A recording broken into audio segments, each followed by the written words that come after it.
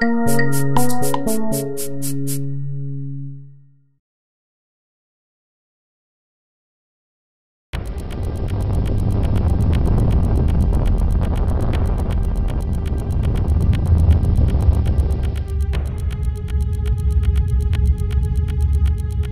Donc vous avez ici un enregistrement qui a été pris il y a un siècle à l'Observatoire de Saint-Maur. À cette époque, l'IPG n'existait pas. Mais euh, par la suite, évidemment, il y a une continuité de la recherche scientifique en sismologie en France, à cet endroit et à d'autres endroits. Et euh, au début des années 90, euh, l'IPG, avec la division technique de l'INSU, a commencé à développer un instrument pour la mission Mars 96. Par la suite, on a, perdu cet instrument lors de la mission, lors du lancement, mais on a continué à développer après un instrument un peu plus perfectionné. Et finalement, les, les, Américains, le GPL, s'est tourné vers un des rares laboratoires sur Terre qui avait développé pendant 20 ans des sismomètres à même d'être allés sur Mars. Donc ils ont pris les meilleurs dans ce domaine très étroit de l'instrumentation géophysique.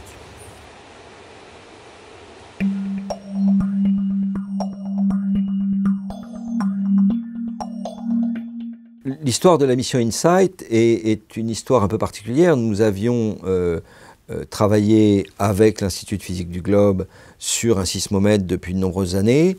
Et euh, et, un scientifique américain était parfaitement au courant de, l'état d'avancement de notre sismomètre.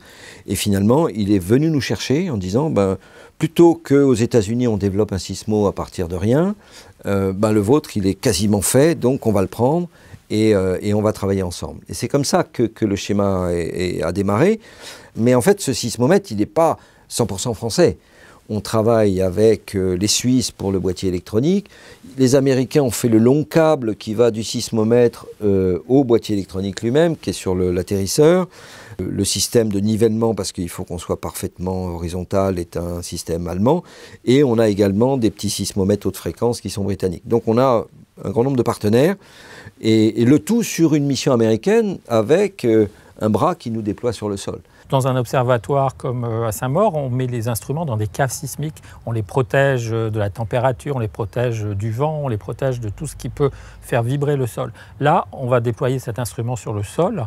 Il va y avoir des variations de température de 80 degrés chaque jour. Donc il a fallu concevoir un instrument qui est au maximum isolé de ces variations de température, qui les atténue et qui est protégé de telle façon qu'on puisse détecter les tout petites vibrations du sol qui sont vraiment la signature des tremblements de Mars. Grâce à un sismomètre, ce que l'on espère, c'est refaire le travail qui a été fait sur Terre il y a pratiquement 100 ans, c'est-à-dire que grâce à des ondes sismiques, réussir à déterminer quelle est cette structure profonde de Mars et par exemple quelle est la taille de son noyau.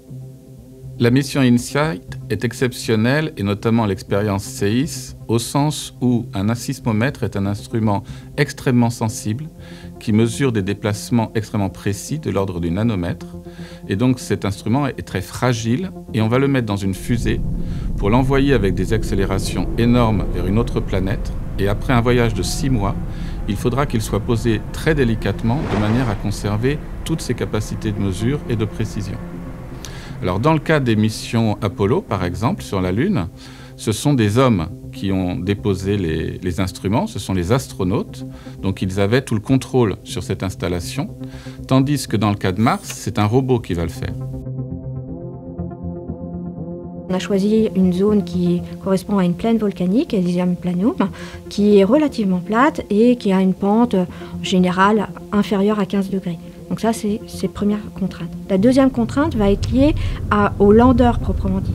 Il faut qu'il y ait une euh, surface suffisamment importante pour que le lander puisse déployer ses panneaux solaires sur 6 mètres euh, d'envergure et 1 mètre de hauteur sur un sol euh, qui, a priori, va être Donc ça, on a pu le justifier à partir des images orbitales euh, que l'on obtient actuellement autour de Mars.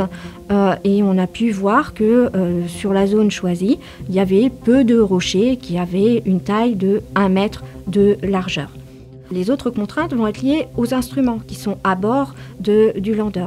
On a un instrument HP Cube qui va être obligé de forer sur au moins 4 mètres de profondeur, donc il nous faut un sol friable. Et deuxième instrument, l'instrument principal de la mission, le sismomètre, qui lui doit être sur un sol relativement stable et dur.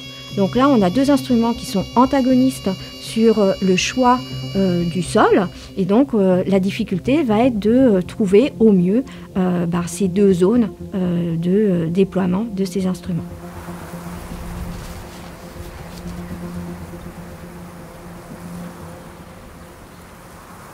Donc un sismomètre, c'est un instrument qui est extrêmement sensible, qui est capable de mesurer des, déplacements de l'ordre du nanomètre.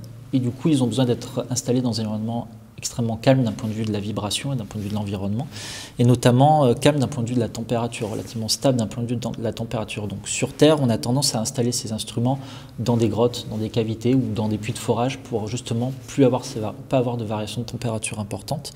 Donc ça, c'est une étape qui est indispensable pour l'instrumentation.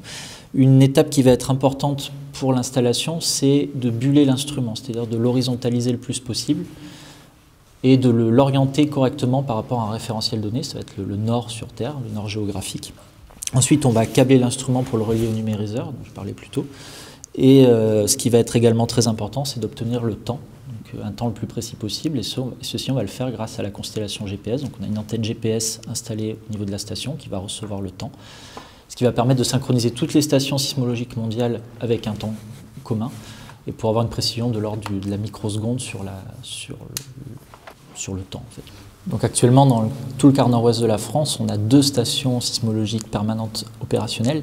Et cette station va faire partie des 20 nouvelles stations qu'on va avoir dans les environs et qui vont nous permettre de mieux détecter la sismicité et surtout de mieux la localiser. Plus on a de points de mesure, plus on est capable de localiser avec beaucoup de précision les événements, les séismes qui ont lieu. Avec un seul sismomètre, effectivement, la, tâche est un peu ardue en comparaison. Hein, sur, la, sur, la, Terre, on en a à peu près 5000 qui fonctionnent en permanence pour localiser les séismes et en même temps s'intéresser au chemin qui est pris par les ondes, puisque retrouver le chemin et la vitesse de propagation, c'est retrouver l'intérieur des planètes. Donc sur Mars, on peut se servir du fait qu'un sismomètre a trois composantes. Donc quand un séisme a lieu, les ondes arrivent d'une certaine direction, et en arrivant à voir un petit peu la polarisation des ondes, on peut retrouver d'où elles sont parties. Donc retrouver la source du tremblement de terre. Ensuite, pour l'intérieur de Mars, on peut se servir de différents types d'ondes, soit euh, des ondes qui viennent d'assez loin, qui, viennent, qui font des phases profondes pour le noyau, ou des ondes aussi qui sont suffisamment énergétiques pour faire donc, ce qu'on appelle des ondes de surface, qui vont faire le tour de la planète plusieurs fois et donc là, on peut avoir un, jeu intéressant où c'est comme si on déclenchait le chronomètre au moment du premier passage de l'onde, et au deuxième passage, au niveau du sismomètre, on arrêtera le chronomètre, donc on aura euh, une idée de la vitesse moyenne, donc de l'intérieur de Mars, on va dire pour les 500 premiers kilomètres. Alors pour obtenir des signaux euh, sismiques sur Mars, il faut évidemment qu'il y, ait une source qui nous génère ces ondes, donc une source d'énergie. Ça peut venir de l'intérieur de Mars, hein. ça peut être lié à, une tectonique, on va dire, qui est vraiment sur sa face descendante, mais peut-être il y a encore quelques euh, soubresauts d'énergie qui peuvent déclencher des sources sismiques.